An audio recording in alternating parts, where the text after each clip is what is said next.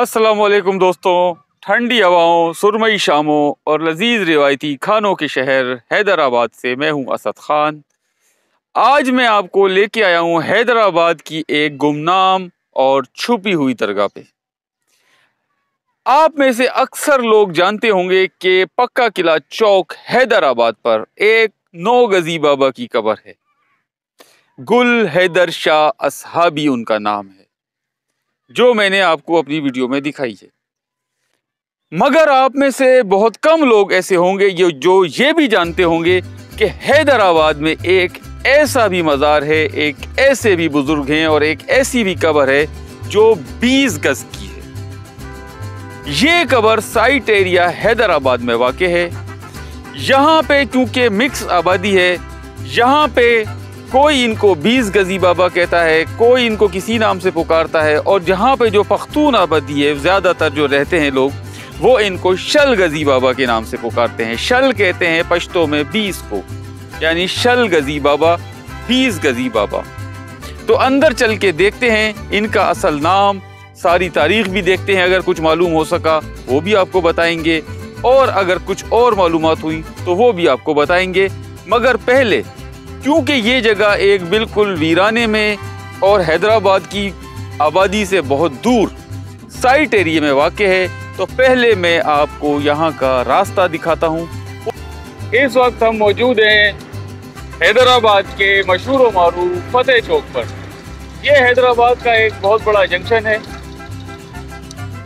यहाँ से कई अजला को रास्ते निकलते हैं। ये है फतेह चौक हैदराबाद। फतेह चौक से हमें जाना है टंडो मोहम्मद खान वाले रोड पे और बदीन वाले रोड पे। ये आप देख सकते हैं, अब हम जा रहे हैं, ये हमने टर्न किया है। ये है बदीन टंडो मोहम्मद खान रोड। इस वक्त हम गुजर रहे हैं जमाली गोड से। मेन टंडो मोहम्मद खान पे, फतेह चौक से थोड़ा सा आगे। ये एक आबादी आती है जमाली गोड यहाँ से एक रास्ता, ये आप दिख सकते हैं लेफ़्ट साइड पे दिखा ये जाता है नारा जेल हैदराबाद की तरफ़।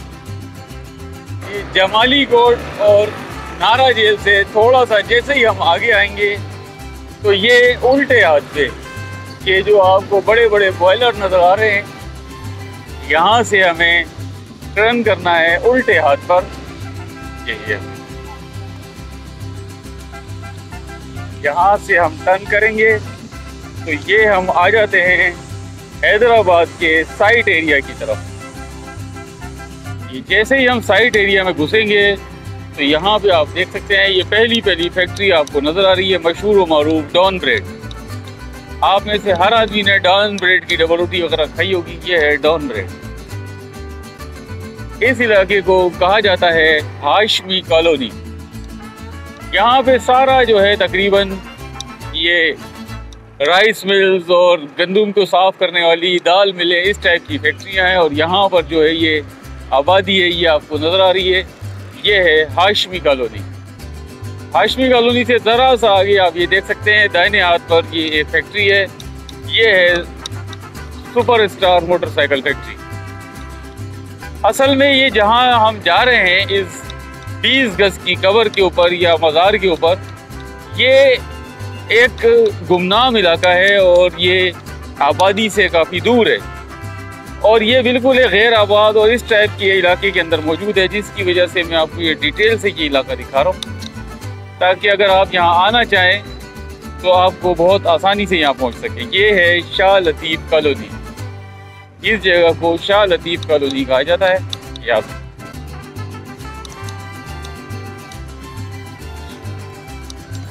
ये सारा तकरीबन बहुत ख़राब रोड है। ये आप देख सकते हैं। ये एक पुल है। ये है फुलेली नहर। ये आप देख सकते हैं अभी इस वक्त हम फुलेली नहर को क्रॉस कर रहे हैं। देख सकते हैं, ये है फुलेली नहर। चल रही है। आपने यहाँ से फुलेली नहर को क्रॉस करना है। तो हम यहाँ पे इस इलाके पे आ जाते हैं। इस इलाके को कहा जाता है बिहण मोरी। बिहण एक कौम है सिंध की और उसके नाम से इस इलाके को बिहण मोरी कहा जाता है। बिहण मोरी। ये जो इलाका है, ये कहलाता है सुखपुर। बस ये बिल्कुल साथ साथ है इलाके। ये है सुखपुर का इलाका है। यहाँ शोरो कौम ज़्यादातर रहती है। सिंध की मशहूर शोरो कौम यहाँ रहती है। सुखपुर इसी जगह को कहते हैं। और कहते हैं कि ये इलाका शोरो कौम जो कि मैंने आपको दरगाह दिखाई थी बाबा शेख रेहान भूसड़ी में, जिसका थंबनेल भी आपको नज़र आ रहा है और आई कार्ड भी नज़र आ रहा है। कहते हैं कि ये इलाका शोरो कौम जो कि उनकी फॉलोअर थी, उनके मुरीदेन में से थी, उन्होंने ये इलाका सुखपुर, बाबा शेख रेहान के कहने पे आबाद किया था और यहाँ आके वो लोग आबाद हुए थे। यहाँ पे आजकल ज़्यादातर ये पोल्ट्री फ़ार्मिंग का काम होता है यहाँ पे। सुखपुर से जैसे ही आप आगे निकलेंगे तो ये आपको एक फैक्ट्री की बड़ी दीवार नज़र आएगी चलते चलते आप इसके साथ साथ चलते जाएँ। और आपको मैं अभी आपको दिखाता हूँ।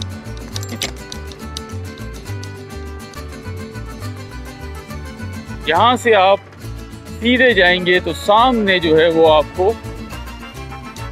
नहर नज़र आएगी। एक नहर हम फुलेली अबूर करके आए हैं और ये हैदराबाद की दूसरी नहर है पिनियारी।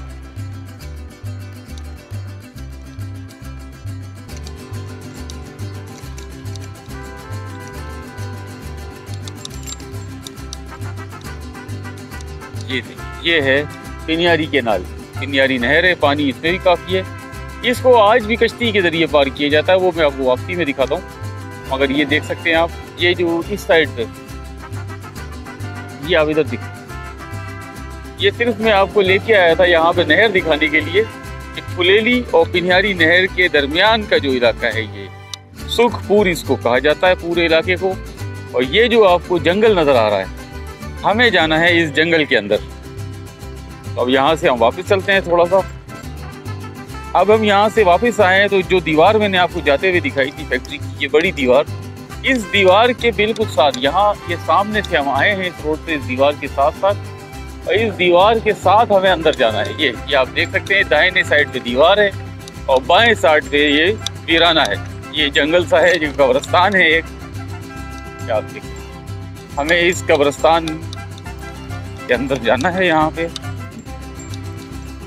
ये बिल्कुल एक बड़ा बियाबान टाइप का इलाका है।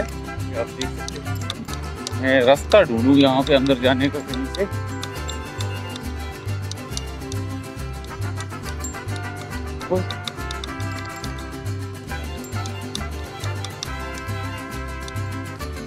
यहाँ रास्ता नहीं है। यहाँ तो खेतियाँ शुरू हो गई हैं। हमें वापस जाना पड़ेगा। चलते हैं। कहीं से रास्ता ढूंढे उधर जाने का।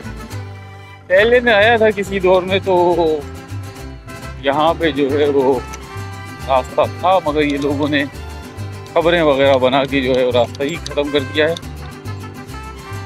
ये यहाँ से हम आए हैं, ये दीवार को लेके जो मैंने आपको दिखाया था, हम यहाँ पे से घुस गए थे इस जंगल के अंदर ही सामने जो आपको नज़र आ रहा है, और हम यहाँ रास्ता भटक गए, हम यहाँ वापस आए।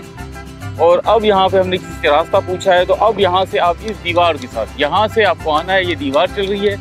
यहाँ से आपको इसके साथ जाने के बजाय यहाँ से आप नीचे उतर जाएँ। आप देख सकते हैं, यहाँ ये बिल्कुल नीचे आप उतरेंगे जैसे ही। तो ये एक सामने आप देख रहे होंगे, ये एक छोटी सी पगडंडी कब्रस्तान के अंदर जा रही है। इस पगडंडी के ज़रिए आप कब्रस्तान के अंदर मोटरसाइकिल पे और छोटी कार में भी जा सकते हैं। ये आप देख सकते हैं।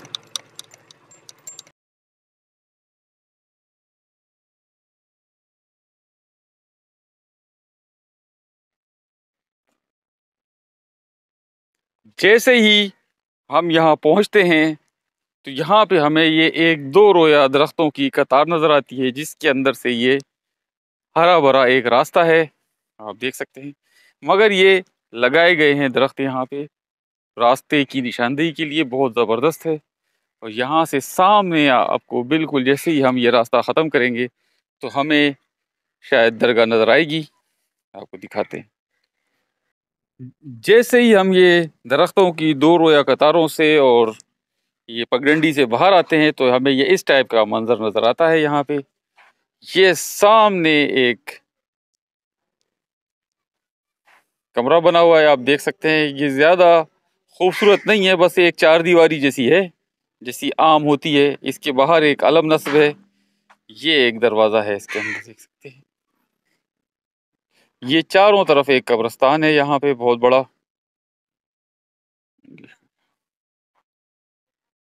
बहुत बड़ा एक कब्रस्तान है यहाँ पे।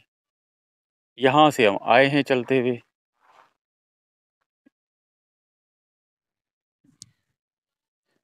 ये आप देख सकते हैं, ये एक दरवाज़ा है, ये खुला हुआ है, इसके अंदर हम चलते हैं।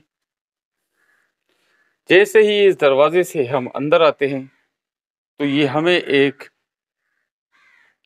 बहुत बड़ी कब्र आप देख सकते हैं, यहाँ नज़र आ रही है, ये आप देख सकते हैं। ये तकरीब कहते हैं बीस गज की कब्र है ये ये आप देख सकते हैं। बड़ी एक ये पगड़ी लगी हुई है यहाँ पे। ये इस पे एक कतबा लगा हुआ है, आप ये देख सकते हैं। हज़रत सखी नूरुद्दीन शाह रहमत सात हिजरी में अरबस्तान खां सिंध में आयो। यानी सिंधी में लिखा हुआ है कि सातवीं हिजरी में ये अरब अरब से सिंध में आए थे। यहाँ पे इनके जो गादी नशीन वगैरह हैं फ़कीर मोहम्मद उर्स शोरो वगैरह इनके भी नाम लिखे हुए हैं। बाकी ये आप देख सकते हैं। ये पूरा मैं आपको चल के दिखाऊँ ये कबर। तकरीब बहुत बड़ी कबर है, कहते हैं ये बीस गज की कबर है। ये आप देख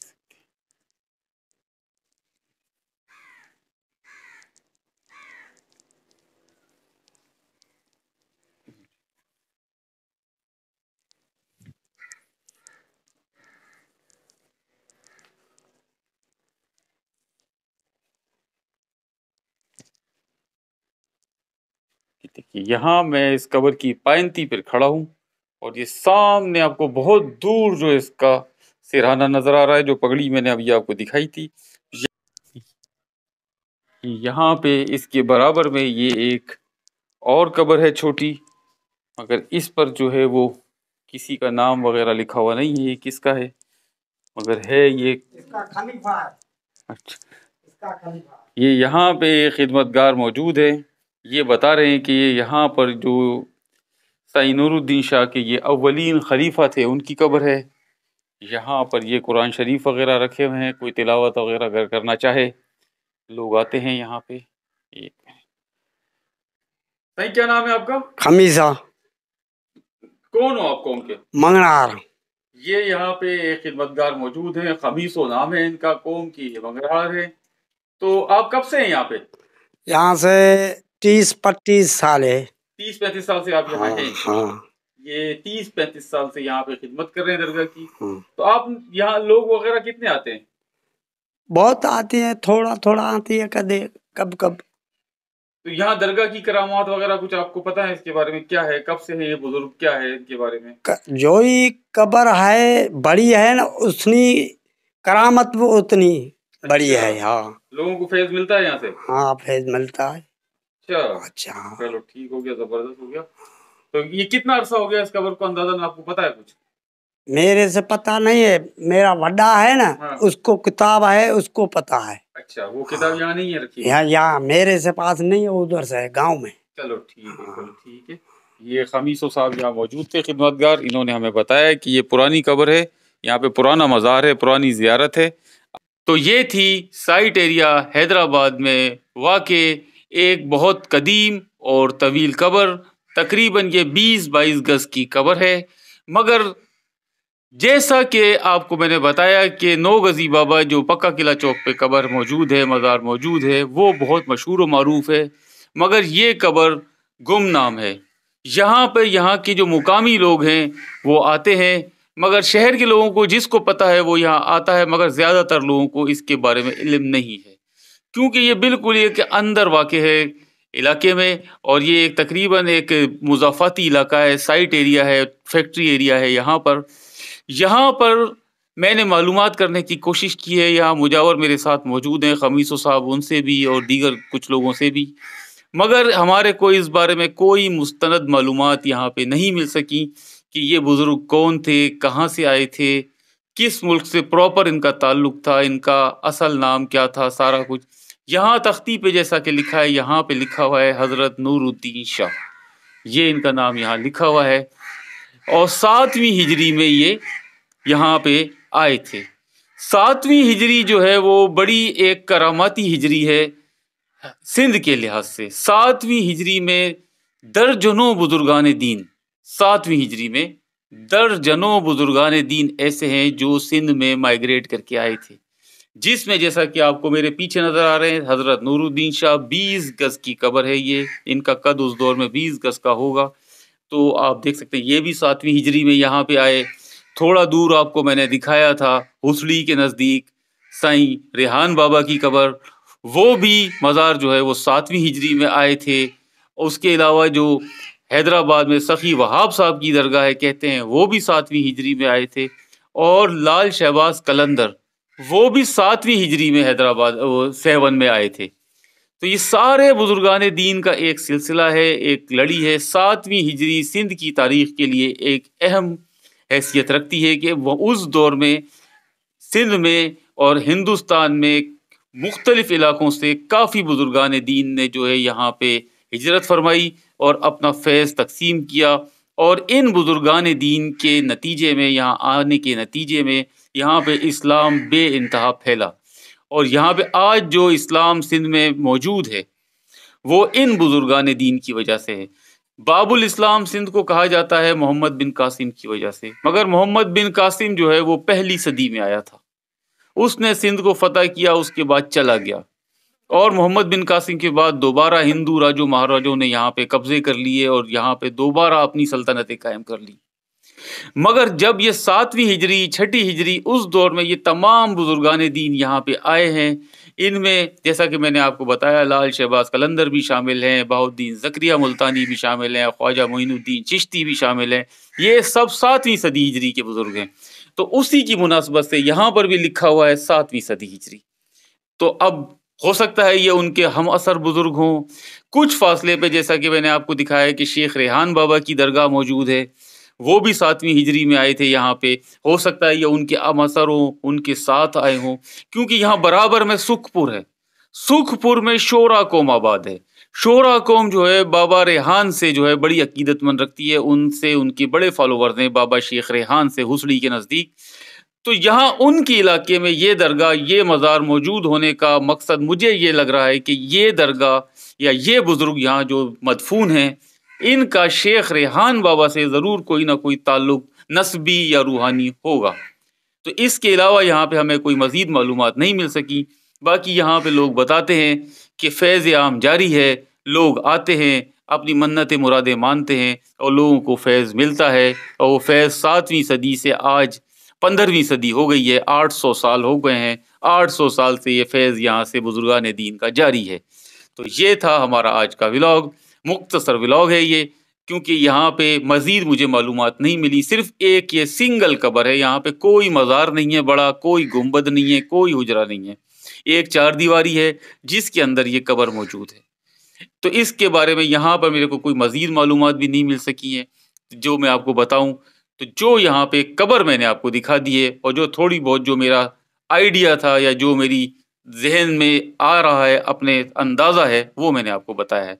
और ऐसे ऐसे बुजुर्गान दीन हैदराबाद में मौजूद हैं। मैंने आपको मुकम्मल रास्ता दिखाया है। आपको चाहिए कि यहाँ पे आएँ, इनके लिए भी फातिहा ख्वानी करें और अपने आप के लिए भी फातिहा ख्वानी करें। आपको यकीनन फैज़ मिलेगा। तो ये था हमारा आज का व्लॉग। शल गजी बाबा या बीस गजी बाबा या अलमारूफ हज़रत सैयद नूरुद्दीन शाह, जहाँ पे ये उनके पेड़ पीछे आपको उनकी कब्र मुबारक नज़र आ रही है। आपको हमारा ये ब्लॉग कैसा लगा? अगर पसंद आया हो तो इसको लाइक करें शेयर करें और अपने ख्याल का इजहार करें अपने कमेंट्स में और मेरे इस चैनल असद ब्लॉग्स को ज़्यादा से ज़्यादा सब्सक्राइब करें। शुक्रिया।